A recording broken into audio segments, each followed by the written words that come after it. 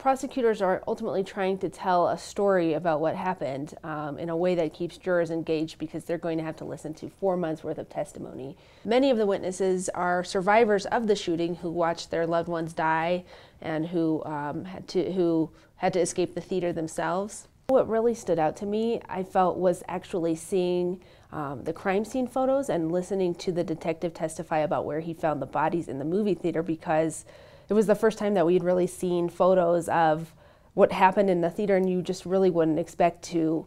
see this type of thing in a stadium style theater, movie, giant movie theater complex. And, and he showed, you know, pictures of just people sort of sprawled out in between the aisles and on the stair, stairs uh, amid popcorn and ammunition. The, the defense is trying to say, well, we don't dispute what happened in the theater. Um, we want you to focus on his mental health and we haven't heard those witnesses yet, and those are expected to come in the next coming days and weeks. He rarely speaks to his attorneys, he doesn't move, he just occasionally glances at the clock, he doesn't look at the jurors, he doesn't turn around to see who's in the gallery, and he has shown no visible emotion, even despite